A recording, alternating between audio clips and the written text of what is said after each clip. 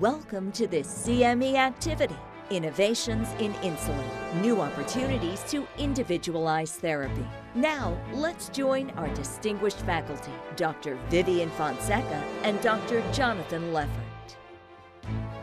Hello, welcome to this program on innovations in insulin, new opportunities to individualize therapy. My name is Vivian Fonseca. I'm professor of medicine at Tulane University in New Orleans, Louisiana. And joining me today is Dr. Jonathan Leffert, who's an endocrinologist in Dallas, Texas, and the current president of the American Association of Clinical Endocrinologists. Welcome, Jonathan. Thank you.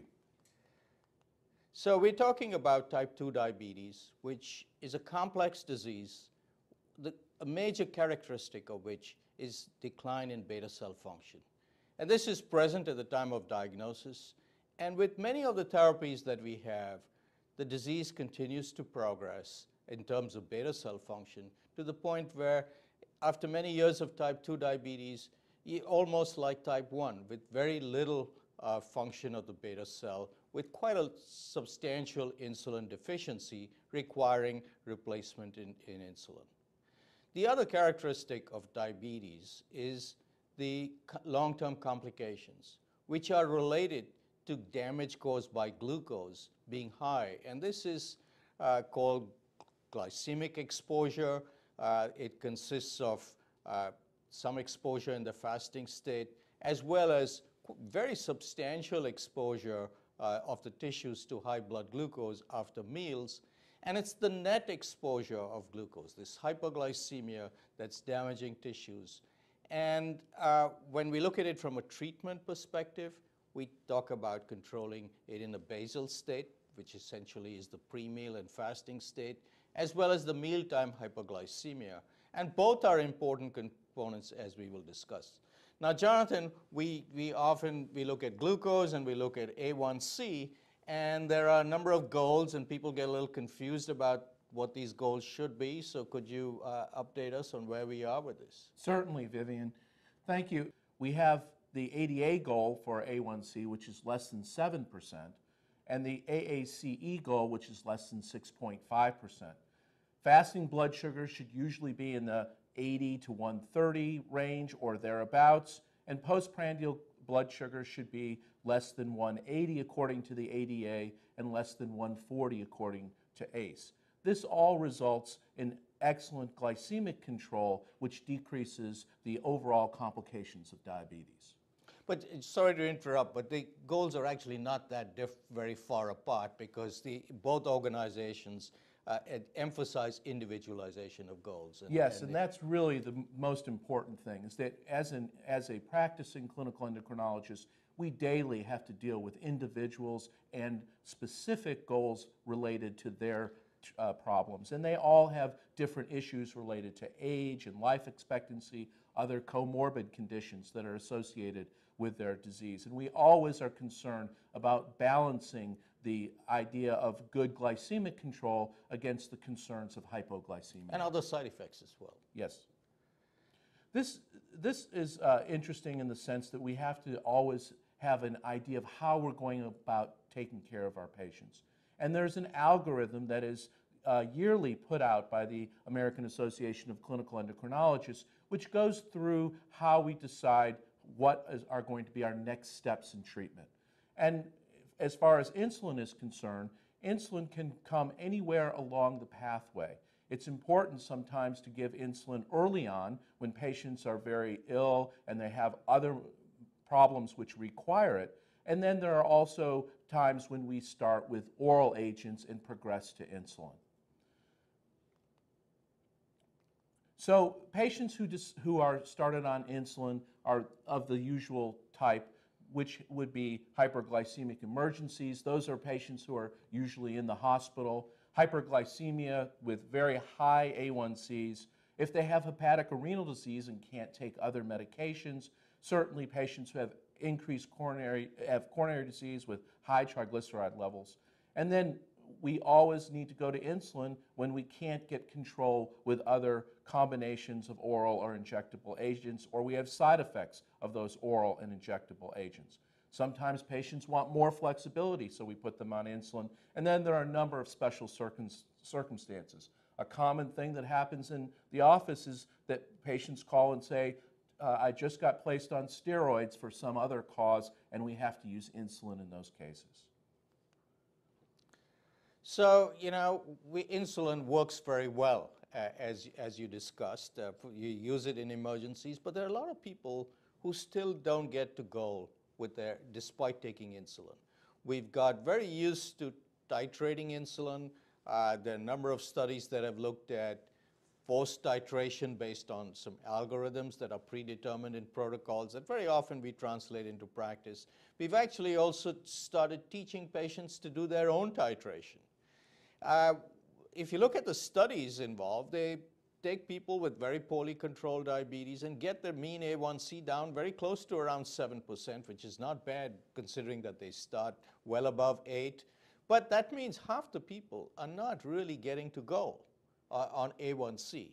Now, you also mentioned goals for individual glucose. Very often, uh, when you're using basal insulin, that's the fasting glucose, and we, we're not fully addressing uh, all the things that go with A1C. Having said that, I, I want to emphasize the importance of titrating, titrating in, in appropriately to get to the goal that you've set for your patient for fasting glucose while avoiding hypoglycemia. You may need to back titrate sometimes if your patient gets hypoglycemia. And hypoglycemia is actually quite common in these so-called treat to target studies. There have been analyses done of uh, pooled data from multiple treat to target uh, studies. One uh, particular study looked at over 2,000 patients over a six week uh, period of time and found that a lot of people had hypoglycemia. Very often it's um, mild symptoms, but sometimes it can be uh, fairly severe hypoglycemia, needing assistance of somebody else, or they've documented a blood glucose themselves, some, below, the ADA now defines it as below 54, but patients have recorded below 50. And they get very frustrated and scared of this kind of uh, situation. And very often it leads to lack of compliance. It also has implications for uh, cardiovascular events and, and other heart events. So while we focus on fasting glucose with the basal insulin, uh, uh, we also need to think about A1C as having multiple components. So could you tell us a little bit more, Jonathan, about you know, is, uh, what is A1C and when, is, when should we start thinking about postprandial glucose? So thanks, Vivian. I think that it's very important to make sure that we always recognize that an A1C is a part of both a, a, a pre and postprandial blood sugar control. And there's been multiple studies that have looked at that. And it's important to always think if you're not getting control of, of the diabetes with a basal insulin, that a prandial insulin, insulin may be required to get postprandial control of the blood sugar. So that's a that's very crucial component of what we're doing in the overall aspect of taking care of patients with type 2 diabetes. So there are also other reasons why you would want to make sure that you are taking care of the postprandial blood sugars. And that, that is that postprandial hyperglycemia independently predicts cardiovascular risk. And there's a number of different studies that have looked at this issue, and it turns out that many of these postprandial blood sugars are, have increased risks of coronary disease, all-cause mortality increased with a number of these studies. And so it's, very, it's, a, it's a crucial component of our overall management, cardiovascular risk being the major, uh, issue, major uh, component of mortality and morbidity for patients with type 2 diabetes. So Vivian, can you talk about how we target the hyperglycemia and how that reduces the cardiovascular risk? So we, we have done a number of studies targeting postprandial hyperglycemia, and the aims of these studies were different. You know, some of them, uh, uh, there's a study with acarbose, for example, that uh, was a diabetes prevention study, another one called Navigator that used nateglinide. There we were looking mainly at prevention of progression to diabetes, the progression of the disease that we talked about earlier, but also uh, looked at, at cardiovascular events. And they were a little disappointing. There was some suggestion of a benefit with acarbose, uh, no benefit with nateglinide. There was another study done with insulin where they compared using Lispro to target postprandial or using glargine or NPH to target fasting glucose. And, and this, this was done in patients with, uh, with heart disease. The study was called Heart2D, and it showed no difference. And I think part of the problem in that study is they chose either postprandial or basal, and I think you've got to target both. Uh, you know, you mentioned how you, you got to identify patients who have a problem with basal. I, one little nuance there is that if you have people whose A1C is above goal, yet their fasting glucose is not bad. And very often these are people who have mild elevations in A1C. If your A1C is 10, doesn't matter what insulin you use. But when if you're using basal insulin and your A1C is around 7.5 or so, very often postprandial hyperglycemia is an important component in that. And, and we need to address that. So uh, we need to think about all these things when we are managing our patients who are not at the goals that we have set them.